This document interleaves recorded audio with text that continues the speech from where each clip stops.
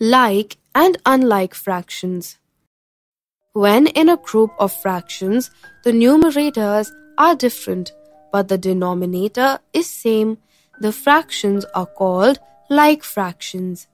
For example, 2 by 9, 4 by 9, 5 by 9, and 7 by 9 are like fractions because each fraction has the same denominator that is 9. Similarly, the fractions with different denominators are called unlike fractions. For example, 1 by 7, 3 by 8, 6 by 11, etc. are unlike fractions.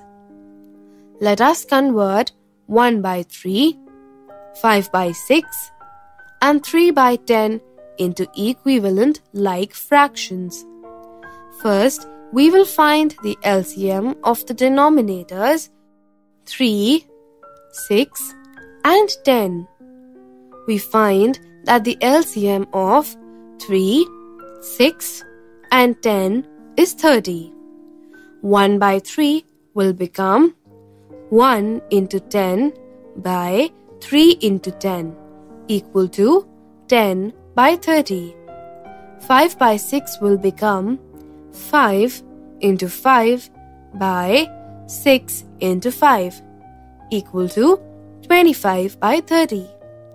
And 3 by 10 will become 3 into 3 by 10 into 3 equal to 9 by 30.